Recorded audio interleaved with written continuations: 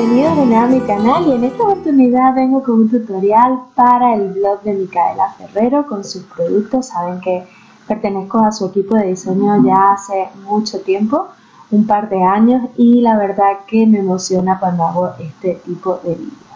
Voy a inspirarme en esta foto que me encantó, que fue cuando estuve en el Paper Fair. Y creo que esta colección le da ideal, me sobraban estos tres papeles y algunos trozos de cartulina de papel decorado de un proyecto precioso que hice, un álbum hermoso para Ecuador, que es este de aquí, que lo bonito de este álbum era que era como una especie de cajita y luego el lomo era un shaker. Este lo hice el año pasado cuando fui allí, la verdad que me lo pasé genial. Bueno, el lomo era bastante complicado, todas lo terminaron sufrieron un poco, pero se terminó el lomo y la estructura. Y la verdad que es un álbum interesante en el que se aprenden algunas técnicas distintas. Me sobraron estos papeles y creo que eran ideales porque es como una colección de sueños, imaginación y de cosas, muchas cosas bonitas como sirenas, unicornios, ese tipo de cosas. Y creo que tiene mucho que ver con el Paper Fair. Voy a utilizar este papel que es de la colección de básicos de Scrapealo y por supuesto estos dos sellitos de Inspira, me encanta ese, pero voy a utilizar, al final me decidí por utilizar Mereces lo que suena. Y existe el troquel y el sello. Pero en esta ocasión vamos a usar los troqueles. Siempre usamos los sellos y quiero enseñarles a utilizar los troqueles porque creo que son preciosos y tienen un efecto doble, es decir, una base y luego el mismo lettering en más pequeñito, como más delgadito, para colocar un relieve sobre él. Lo vamos a poner con goma eva, es decir, con un relieve alto. Y luego voy a troquelar la palabra en grande, mereces lo que sueña, en papel acuarelable de 250 gramos en el que vamos a colorear o a pintar o a estampar o como lo quieran llamar acuarela. Vamos a hacer un fondo muy sencillo y yo voy a utilizar las pastel, pero ustedes pueden utilizar las acuarelas que tengan, incluso las que puedan encontrar, no hay ningún problema. Y voy a usar los dos troqueles, el más gordito con la cartulina en eh, acuarela y luego el más delgadito voy a utilizar velum, papel velum o papel cebolla que también se llama así. Lo encuentran en librerías, en todos los sitios de hecho muy común, es papelería común. Y yo voy a utilizar estas eh, acuarelas, pero ustedes pueden utilizar las que quieran. Son preciosas, son colores pasteles. Voy a hacer una composición así sin ninguna técnica en específico, simplemente voy a escoger cuatro o cinco colores que más me vayan con la colección, que quiero que sea así tonos muy pastelitos. Y le voy a hacer así como un degradado entre estos colores. Me inspiré sobre todo en estos twine que son como una especie de cordón o hilo que viene con un hilo alrededor blanco y era precioso y creo que iba ideal en color rosa, lila y turquesa o verde mil, mejor dicho, más que turquesa. Voy a hacer una composición así muy muy rápida con rosita, verdemín, azul clarillo, lila y con un pincelito, agua y ya está. Eh, luego de esto lo troquelaré con mi Big Shot de la marca Sisi, que es la que yo tengo. Y lo que haré será eh, colocar a esto además goma eva. Voy a troquelar dos veces. Una, voy a troquelar esta eh, cartulina acuarelable que estoy pintando ahora mismo y luego goma eva.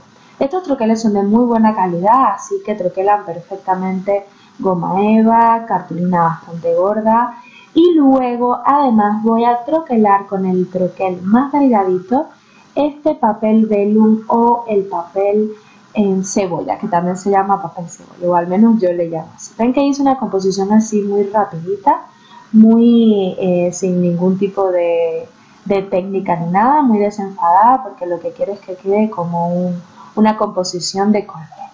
Luego hago mm, lo que quiero sin pegar, sin poner relieves ni nada, ¿Cómo quiero que sea la composición de mi layout? Yo sé que los layouts tienen un montón de técnicas, un montón de reglas. Yo lo que quería era relajarme muchísimo, quería pasarlo bien, quería utilizar eh, elementos que tuvieran, pero que también eh, pudieran como sustituir por otros. Es decir, que por ejemplo si no tienen esta estrella, pudiesen hacer un círculo o un corazón o lo que tuvieran. Si no tienen twine, pudieran utilizar lazo. Si no tienen esta colección, poder utilizar trozos de cualquier otra que tengan o imprimibles y que fueran cosas que todas tuviéramos en casa. Las que hacemos scrap, por supuesto. Todas tenemos pues lazo, hilo, algún troquel y si no, pues simplemente lo recortamos con la tijera o hacemos con alguna formita de algún aro, alguna pulsera, por ejemplo, pudiese ser de esas que son rígidas, forrarlas con cinta, eh, no sé, hay mil maneras de sustituir cositas. Lo que sí no podemos sustituir es los troqueles de mica, que yo creo que son preciosos y merecen mucho la pena. Vamos a intentar darle la vuelta con estos tres twine, con estos tres lacitos. Si no tienen esto pueden utilizar lazo, cinta, cordón, yute, bueno, lo que tengan en casa y le vamos a ir dando la vuelta a toda la estrellita, es decir, así de sencillo, no tiene nada de complicado, es pues ir juntando los tres hilitos que me vayan quedando eh, bonitos, que no se me unten uno sobre otro y irle dando la vuelta a toda la estrellita hasta que la cubramos completamente. Está la opción de solo colocar muy separadito el hilo y la opción de hacerlo muy muy tupidito. Yo empecé haciéndolo como separado, pero luego me gustó más, más tupidito, como más todo junto. Así que lo que hice simplemente fue rodar todo el hilo hacia un lado y seguir, seguir hasta el otro lado. Y así ha quedado de bonita el Mereces lo que sueña con el con la acuarela. Ven qué bonito, queda muy intenso pero la acuarela pero a la vez pastel. Lo que hice fue colocar, no se ve en la cámara, pero sí que en persona se ve precioso el velum o el papel cebolla sobre esto porque le hace como un efecto claro y como relieve. Le voy a agregar muchísimo relieve a este layout porque a mí me encanta, me gusta agregar mucha goma eva, si no cinta de doble cara 3B, pero a mí me gusta la goma eva porque es como más uniforme, más económica y a mí me gusta así le voy a colocar para cubrir todas las zonas y voy a ir agregando diferentes alturas. Por ejemplo, a la foto le agregué dos goma eva, lo porque para que se igualada con la estrellita que quedaba así bastante elevada. Quería que, fuera eh, bonito, a mí me gusta mucho agregar relieves, esto es cuestión de gusto, los layos también pueden ser completamente planos, sin problema. Este es mi primer layout y nunca había hecho uno, así de manera seria. Y me gustó muchísimo porque creo que cuando uno hace un proyecto como este, lo primero que tiene que tener es la foto porque en eso es lo que te vas a inspirar, es la inspiración de, de, ella. Y luego de allí también se sacan los colores, los que vamos a utilizar en dicho labial. Por eso yo utilicé el lila porque mi vestido es lila, los donos son rosas y fucsia, hay un poquito de amarillo en la camiseta de nuestra amiga de The Craft Academy, pero eh, hay un toquecito de amarillo en, lo, en la colección y bueno, la verdad que me gustó un montón, me inspiré muchísimo con la foto. El fondo del layout combina perfectamente con el pelo rosa de Sammy y eh, luego también agregué mucha cinta porque en el Paper suele haber mucho twine, cintas y cositas así. De hecho, todo, todo, todo, todo el techo del salón donde se daban las clases eran millones y millones de lazos y cintas y creo que era súper adecuado utilizar así mucho, mucho de este tipo.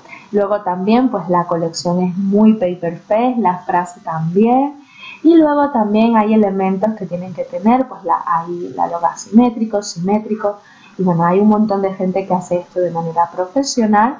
Yo estoy haciendo mi primera prueba y creo que me encantó y seguiré haciéndolo para, eh, no sé, para animarme con alguna foto o algún proyecto, creo que queda súper bonito. Se pueden hacer álbumes de este formato, por ejemplo, puedes colocar o hacer un álbum con anillas de 30 por 30 o de 31 por 31, por ejemplo, centímetros, y luego ir a cada hoja agregando un layout diferente y hacer un álbum precioso.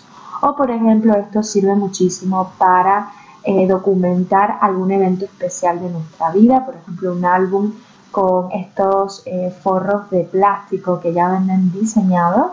Se pueden hacer cosas preciosas e ir, por ejemplo, nació nuestro bebé y hacemos esto y a esto también se le agrega eh, escritos, es decir, sentimientos en el que nosotros dejamos un trocito con un espacio para escribir, para decir lo que queramos, de manera personal. De eso se trata el scrap y de eso se trata esto.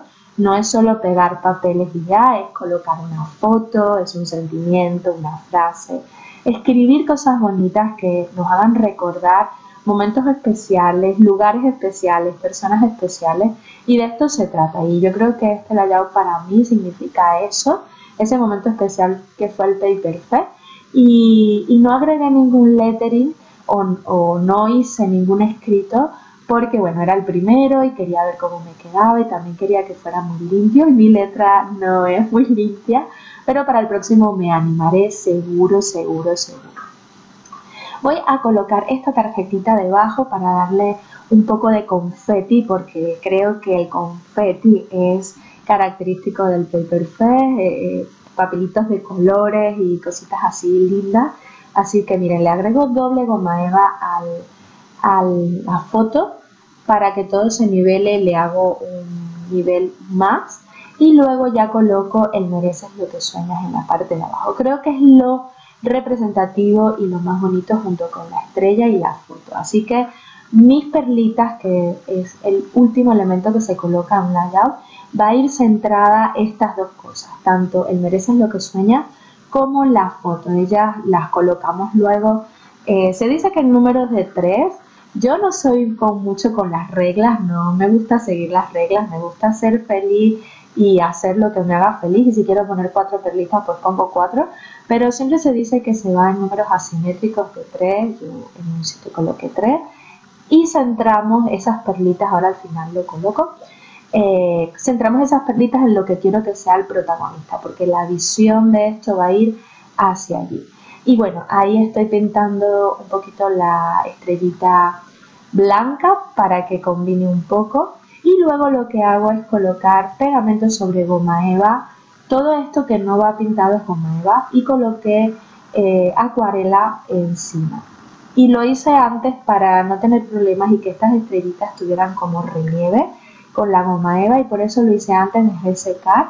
Y ya luego lo que hago es simplemente desmontar la estrella y ya se me desmonta pintada y con relieve, con goma eva por detrás. Y bueno, así ha quedado el hallado, espero que les haya gustado. Si les gustan este tipo de proyectos y quieren que les explique un poquito más sobre ello y cómo lo monto o cómo eh, el álbum donde pienso meter todos los que vaya a hacer, solo tienen que escribirme en la parte de abajo y si quieren algún proyecto en especial que les guste que haga, saben que me encanta hacer de todo, tocar todos los tipos de estilos en el scrap. Así que si tienes algo que quieras que haga en específico en scrap o que te gustaría que hiciera, escríbeme en la parte de abajo que el que salga ganador, ese será eh, un proyecto futuro. Les mando un beso inmenso, inmenso desde el alma. Un beso también a Mika y sus troqueles que son preciosos. Espero que les haya gustado, de verdad que sí. Y les recuerdo que tengo página de Instagram en donde me pueden seguir, se llama Bellas y Creativas. Y allí subo un montón de cosas todos los días, stories, y bueno, salgo allí haciendo de todos mis talleres y demás. Además tengo página de Facebook que también se llama Bellas y Creativas y bueno, este canal de YouTube que se llama Joana Rivera. Y recuerda darle la manita arriba si no el y darle la campanita. Si quieres que cada vez que suba un video